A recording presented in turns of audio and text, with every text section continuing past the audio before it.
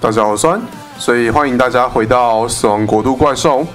那今年是第二登年，然后现在是营地阶段，那我们就来照这个营地阶段的跑一遍。所以幸存者生还，我们只有两个人回来，只有两个人回来，然后我们获得奋斗点。那获得奋斗点，这里我们其实拿到六点奋斗点，因为回来的人给了两点，这两点，然后死掉的人因为这个坟地的效果，所以在狩猎或决断阶段死亡的话，都会获得两个奋斗点，所以这边我们就拿到了六点奋斗点，嗯，所以其实蛮多的，嗯，奋斗点。呃，大部分的时候只有在发展会用啊，我们先放到这边啊。那接下来就是这个呃营地事件，所以我们就来抽一张营地事件啊。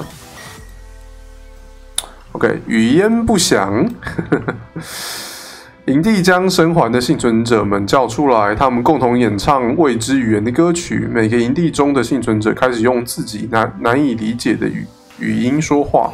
直至营地中充满一种永无止境的胡言乱语，指定一个幸存者。所以这幸存者我不一定要指定回来的这两个，我也可以指定呃另外的其他人。呃，我们来看一下到底会发生什么事。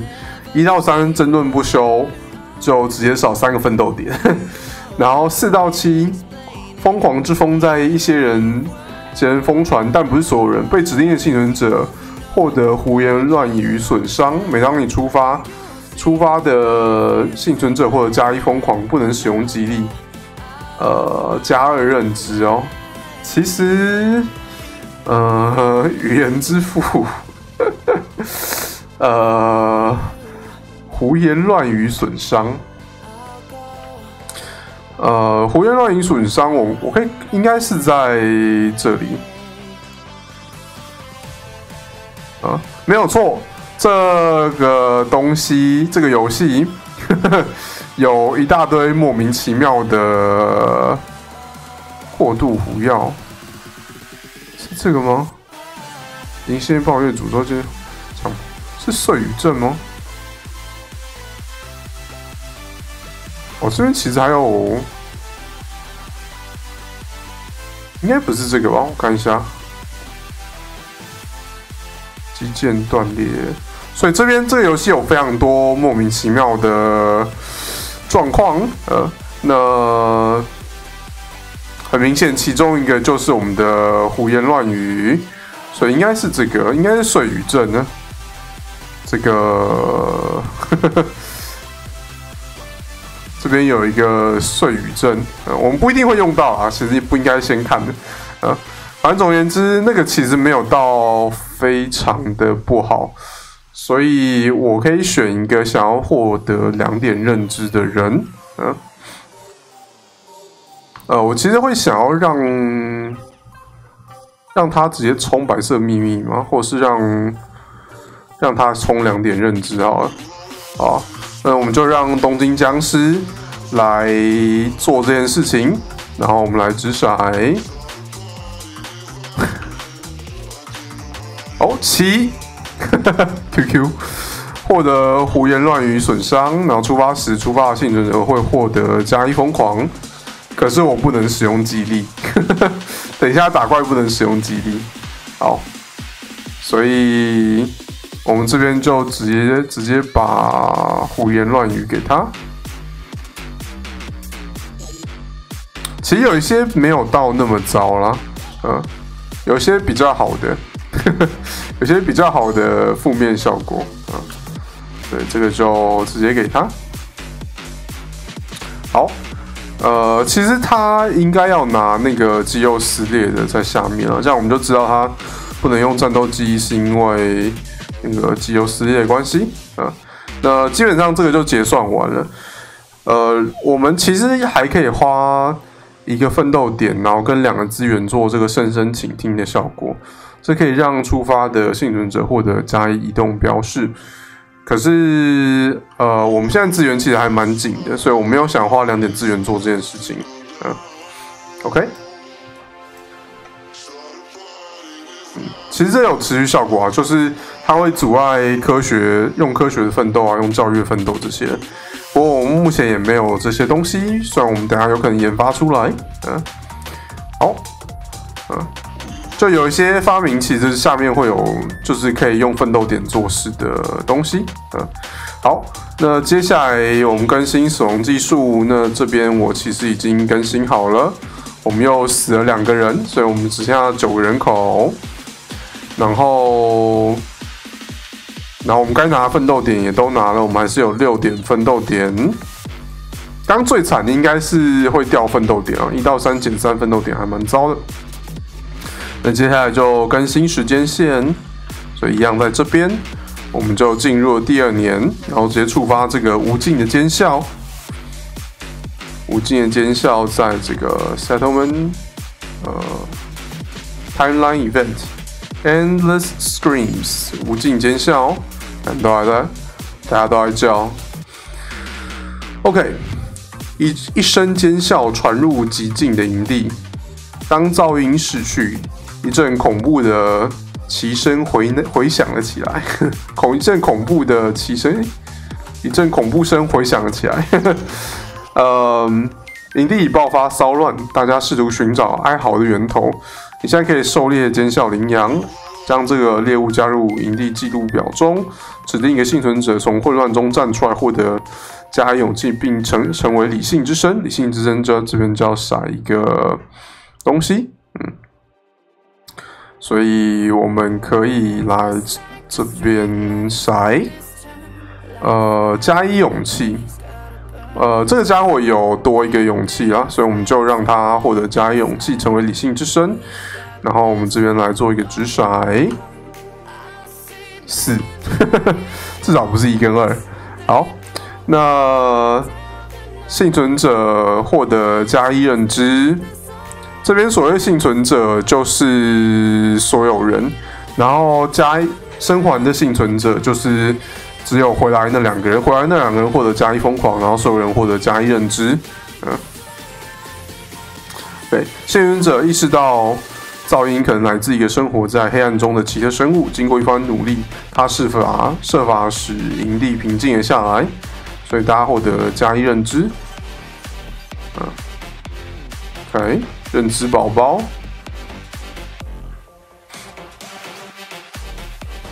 他才是认知宝宝。所以超这全部人也都会获得加一认知啊，嗯，然后刚刚回来那两个人会获得呃加一疯狂，也就是我们的红色的海贼女王加一疯狂，然后还有我们的边缘跑者也获得加一疯狂，哦，呃伤害都没了。他受了非常多、非常多的伤，嗯，家伙也没有受伤了。回到营地之后，这些重伤就会全部都不见了，嗯，流血标志也都会不见。就主要你可以看，就是这边的东西都会全部归零，然后这个板上东西大部分都还会，这这个板上就是记录持续存在的东西，嗯，好，那接下来。那我想要让他们先累积的原因，是因为这些粗荒其实都会触发事件，所以触发事件的话，就会获得一些能力，就还蛮不错的。嗯，好，那这样子，这个这件事情其实就结算完了。嗯，对，没有错哦。啊，那是别的事情，大家不要想太多。呃，所以目前我们也更新完时间线了。就到了我们这个大家最喜欢的发展的时刻啦。嗯，那发展这边，我们先做第一件事，就是我们先来研发发明。这边用奋斗点、骨头、器官还有鼻毛来做一个发明。嗯，所以就是这边这四个，我们可以拿来做一个发明。发明之神，请眷顾我。那因为我们有宴会的关系。所以我们会额外抽两张发明卡，所以总共抽四张。嗯，OK，一、二、三、四。所以我们有《星影之灯》绘画、鼓跟讲故事。所以心灵之灯的好处是它会让幸存者获得生存点行动爆发，所以可以快速的来花生存点，然后直接来做攻击，会获得一个闪电啦。那闪电就是拿你拿来做攻击的东西啊。然后绘画是会获得冲刺的生存点行动，那就是可以让你多一个骑士的行动点，这基本上就是一个移动啊，嗯，你看让你在快速的做站位的事情啊。这边还要讲故事哦，生存点上限加一，值一个第一时，花三个资源会获得加一认知，加二生存点按加二疯狂啊。我们现在其实不少生存点，嗯，骨头节拍，我们可以值一个第一时。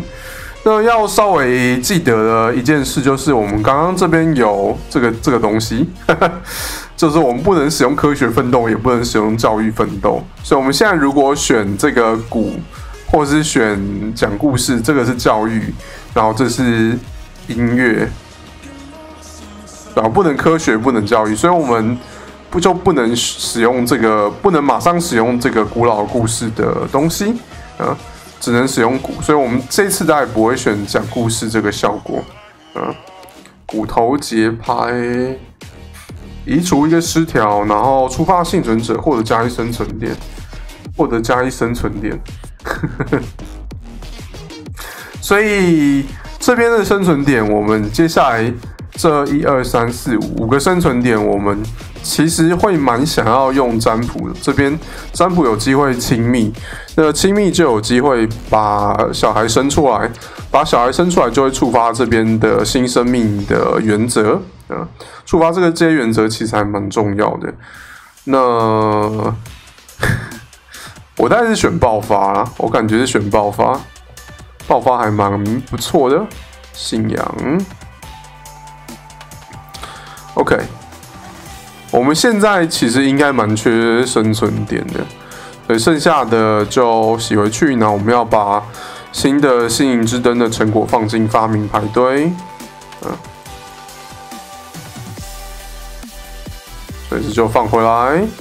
然后星影之灯的成果应该是有两个，呃，啊，这是星影之歌吗？摄影之灯，嗯，摄影之灯，属于神坛跟疤痕纹身，嗯，所以就再把这两个东西给加进来，嗯，OK，一生一次获得加一勇气并指命中部位，嗯，OK，所以你可以看到这个游戏有一些。酷酷的东西，那有些其实的确比较差一点，有些可能比较好，呃，所以有心理真正之后，每个人都可以获使用爆发，嗯，那我之后会再把把它们勾起来。我们先想剩下这五个生存点要来做什么，估计应该就是来这边搞占卜了。占卜一到三的话，我们可以获得加一认知。四到七可以会拿到一个生存点，然后八以上就会触发亲密这件事。亲密有好有坏，嗯，亲密其实有好有坏。那我这边先把我们的装备先做一做，嗯，那我用呃这个 我们主要要做的装是这个白狮手甲、白狮大衣跟毛巾弓。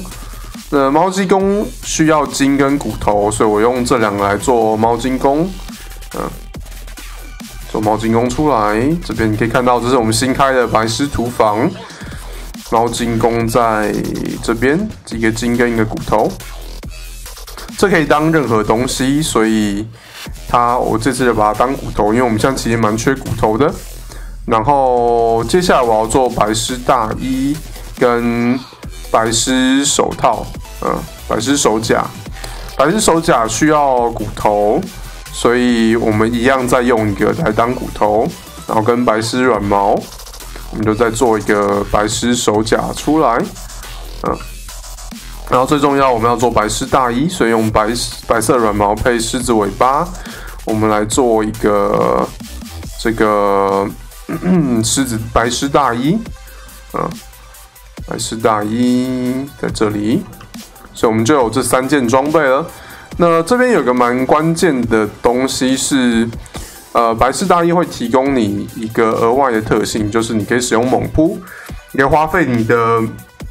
呃，骑士跟你的闪电，然后在一条线上移动三格，然后移动三格的话，你可以激活一件具有激活一件近战武器，然后它会有加一力量，所以它会打比较痛。嗯，然后这个白狮手甲就是会让你的猛扑会，你猛扑的时候，你的攻击会获得加一精准，所以就是还挺强的。这两个算是。呃，猛扑系列的核心卡，然后你如果白狮系列装备都做出来的话，这边其实还有白狮的套装效果，嗯，不过那等之后真的做出来再说，嗯，所以我们就拿到这件装备，嗯，那我们再做一个猫精工，让我们其中一个人就站在远处一直疯狂开射就好了，他就不用冒险，然后他也不用拿那么多装备，嗯，好。所以我们的剩下来的东西大概是长这样。这边这个闪闪闪发亮的鬃毛其实一个蛮特别的东西，因为你可以归档这个东西来把它换成两个皮毛基础资源。嗯，所以等一下我们如果需要呃这边占卜会需要资源的话，我们可以把这个换成两个基础皮毛资源，然后来。呃，消耗皮毛资源来那个给他们加认知，嗯，好，所以我们现在人出发的时候，应该是不会拿到任何生存点，对不对？嗯我们这边都只是加生存点上限而已，所以这边我其实要想办法来让他们的生存点变多，嗯。呃，比较重要的人是，应该是这几个吧。这下面的人，嗯，没关系，我们先让先让他来做这个占卜。你要占卜的时候，你要选一个人来做占卜，嗯，不一定一定要是生还的幸存者的样子。那来做占卜，所以我们就掷一颗骰子。如果是一到三的话，会消耗一个资源，要一定要失去一个资源。如果你失去的话，你可以获得加一认知。嗯，然后四到七，他会拿到生存点，八以上会亲密。所以我们消耗了半个，呃，这叫什么皮毛？所以他获得加一认知，他认知真的超高的。好。那我们消耗一个生存点，好，那我们再耍一次三，所以我们又消耗一个生存点，可以不要这样吗？我只想生小孩而已，OK，这完全不见了啊，这完全消耗掉了，好。然后还是他，敢不是吧？好，我们消耗把它消耗掉。他如果直接触发这个秘密的话，也直接挺憨的。然后一样再把给拿掉，这还蛮帅的。OK，七，要拿到一个生存点。这里现在有爆发了，所以。我估计会给他穿那个白丝装，然后让他用古匕首一直空打。嗯，好，那最后一次，哎，最后我们还有两个生存点哦，四，所以再拿到一个生存点。好，那他生存点满了，所以我大概会想要换另外一个人来做事。一二三四。然后一个做这个，好像是这样没错吧？哦，我们其实也可以开皮革工厂哈，可以用毛皮做一大堆好装哦。突然有点后悔。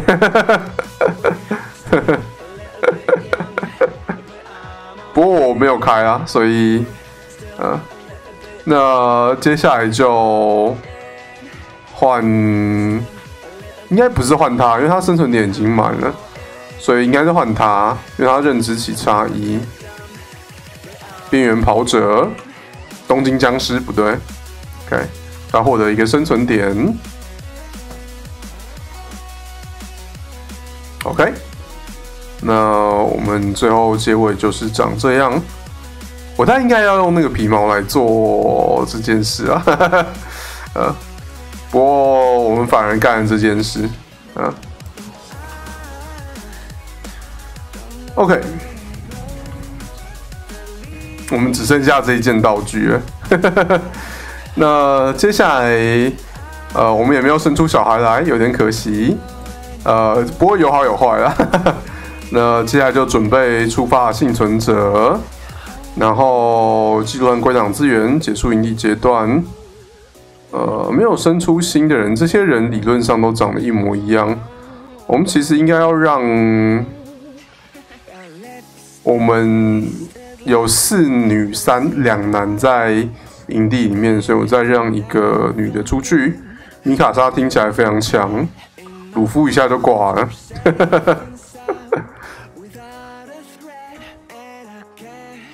OK，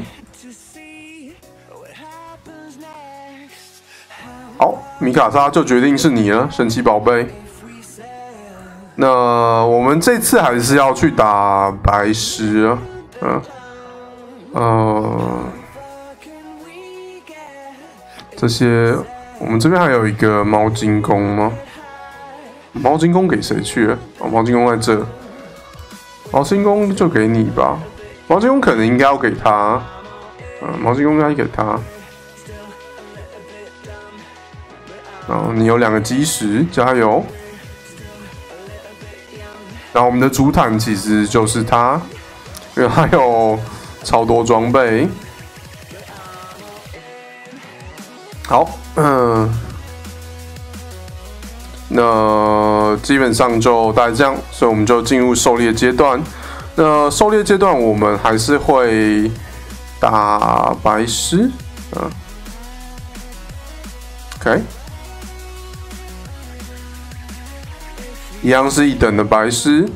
呃，其实前面蛮这么长打一等白狮是呃蛮正常的事情啊，所以大家不用想太多，啊。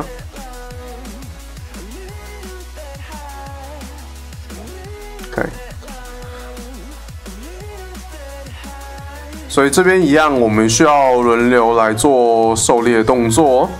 那呃，我们现在只有三个发明吗？我们现在只有三个发明。当发明到达到达五个的时候，其实会触发这个事件。然后第一个小孩出生也会触发这个事件。所以我一直想要生孩子的原因就在这边。呃，然后呃，我们就先，我们有两个人，也就是两个这个幸存者。其实有这个探索的效果，所以进行调查直骰的时候，结果会加二。所以先让他们两个来做这两个直骰。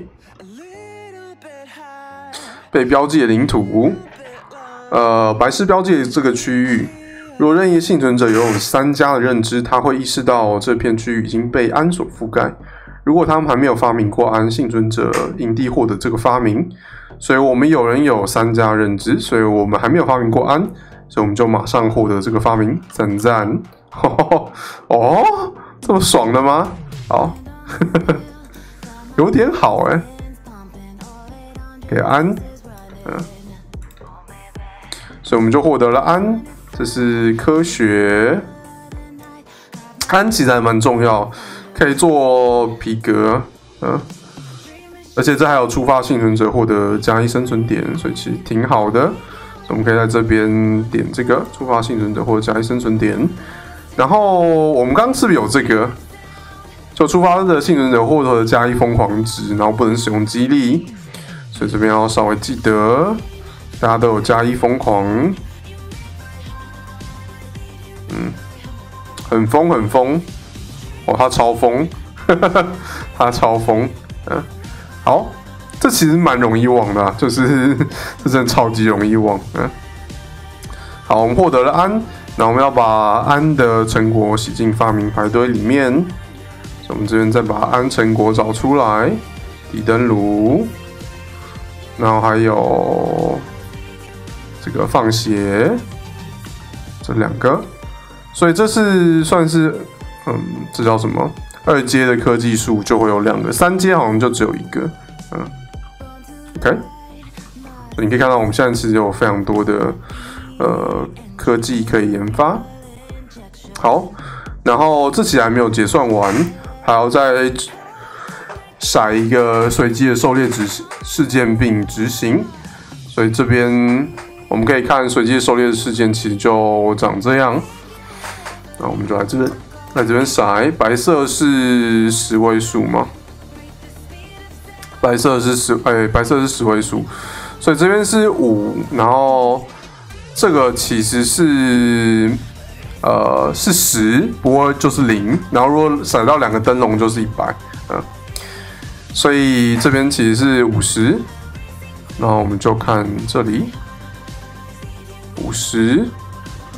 所以吊死鬼，一个巨大的树枝上悬吊一个粗粗糙的铁笼子。当幸存者们靠近时，笼子里面的男人大喊着恳请幸存者们释放他。幸存者们可以直接离去，因为但因为囚犯的哭泣和恳求声遭遭受一点大脑事件伤害。如果事件呃幸存者选择释放事件展示者，依下表掷骰。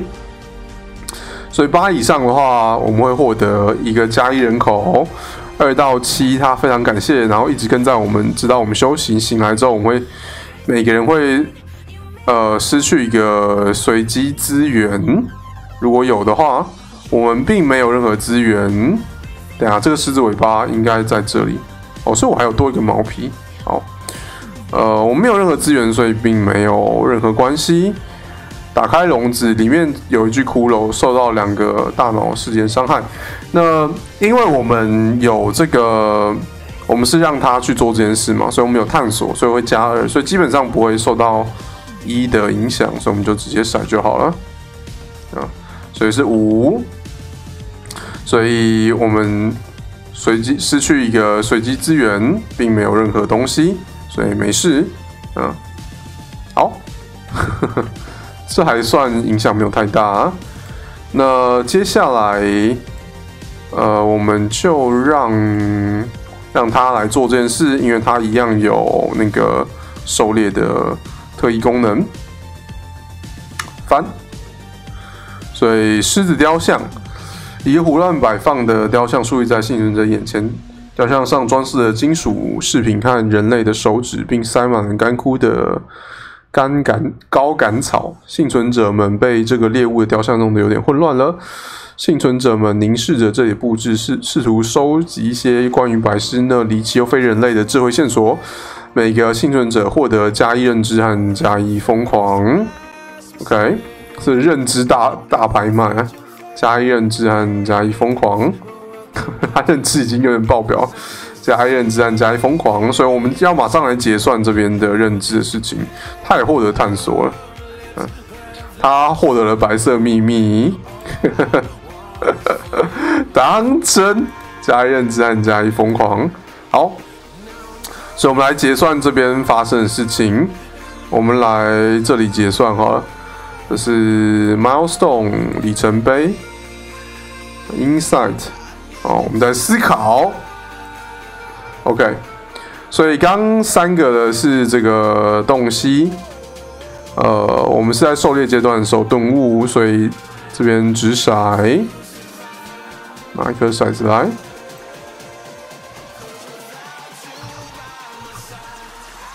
是六，所以他获得了加三生存点和加三疯狂值，并没有很好。OK。加三生存点跟加三疯狂值，OK，好，然后接下来比较特殊的事情来，就这个白色秘密，这超快就白色秘密也有点扯，啊，好，白色秘密，一个深埋在记忆中的梦突然浮现出来，你感感觉到他燥热的呼吸沐浴着你的耳朵，丝丝耳语。他早已带着世界秘密来到你的旁边，而你只不过是忘记了而已。直到现在，嗯，好，那我们这边来下一个东西。我们没有浪漫主义，也没有这个东西，所以都没有会触发特殊事件，蛮有可能是中间的。低几率是旁边两个。OK，是九哎，OK，老当呃无形之发的故事，你记起了一个长发女人的故事，她的长发是那么的精细，以至于无法被看到。哈哈哈，傻笑。她声称她可以感受到任何她头发触及到的东西，在她临终之时，她将头发全部剪掉，并给每一位为她看望呃每位看望她的人。一股头发作为礼物，而剩下的则，呃，疏散零零落在风中浮动，期待等待着听到这个故事的人将其抓住，获得以下能力：地脉行者，你的装备栏中没有护甲或附属装备的时候，获得加三回避。OK，呃。好像没有什么小用，不过加三回避理论上还挺猛的。好，我现在有装备，所以没有触发。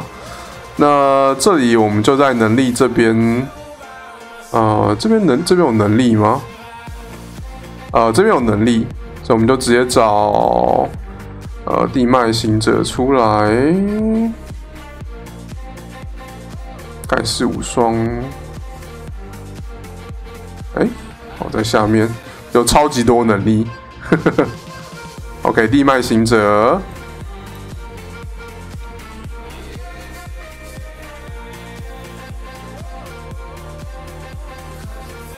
获得一个超下能力。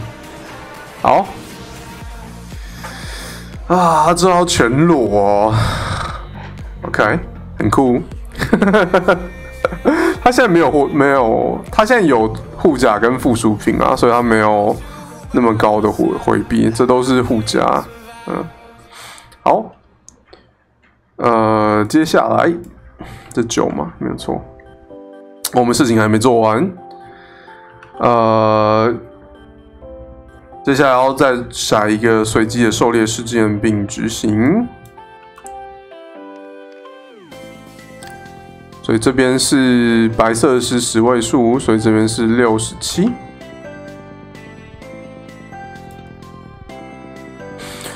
唾液池前方的地面布满了如麻子般充满呃粘黏液的池子，池子快速地呃快速冒着气泡吗？并散发出消化了肉的恶臭。幸存者们在池子间池间移动，并抵抗一波一波波的恶心。每个幸存者都要甩个滴石。结果如果比他现在生存点小的话，他继续移动；如果点数比生生存点大，他会吐向附近的池子，然后遭受一点呃。这是什么躯干事件伤害，并获得加一认知？看他要加多少认知？他看到池子贪婪的分解呕吐物。如果他有加三认知，他找到一个使用池子的方法。每个幸存者可以在池子里放一件装备，归档该装备，它丢失了。幸存者获到获得制造那个装备资源哦。OK，所以可以把那个装备资源分解掉。呃，获得制造那个装备资源可以直接，What the fuck？我们是有人有加三认知的啦。那我们都要甩一个滴石。我们生存点其实还蛮糟糕的，所以呃，或许没有那么的恐怖。啊，七，所以他就继续走，没事。然后他生存点是三。九，所以他继续走，没事。生存点是三，所以就继续走，没事。啊，生存点是一，是三，所以他继续走也没事，所以基本上没有任何人有事，啊，完全没事啊。分解还蛮有趣啊，不过你可以看到，这其实都是为了比较后面的事情，因为后面你生存点也可以到很高，嗯，好，所以这边也没事。我们刚刚这个家伙也已经变成狩猎宝宝了，所以换他来开这个随机事件，直接闪就好了。所以这个是六十五，刚好同一页哦，真感性雕像。到达山顶的山顶吗？山顶的幸存者发现了一个坐在王座上的男人的雕像。如果任意幸存者拥有有九以上的认知，幸存幸存者们总过无事发生，否则每个幸存者都要拿一只骰一个第一十，然后最低我们有一个人，这是刚好九，一二三四五六，对，刚好九，所以没事。OK，看一下如果会怎么样？有会有会，我们可以会骰，然后出一个掉队者被吸引抚摸他，他就不见了，被保卫上的人取代。无声的大喊，呵 呵那人呃不解释加入狩猎掉队者死的，取代的是一个有。一种随机武器精通，两个随机失调，两个狩猎经验，并且装备着钓猎者所装备的，其实不错，哈哈哈 其实不错，好啊。不过对，并没有发生，因为我们有一个九认知的憨儿，好，所以没事情发生。其实这是蛮幸运的啊，这是蛮幸运的啊。那我们就遭遇白狮了啊！那对，没有错。哦且看我们下次，希望不要再死人了。好，那今这次的第二登年的营地跟狩猎就大概到这边。希望大家喜欢这影片，喜欢的话记得订阅，然后也可以回去看之前的狩猎的状况，或是。之前决战的状况，或之前营地的状况，或之前的影片，那我们就之后再见了。我们这拜。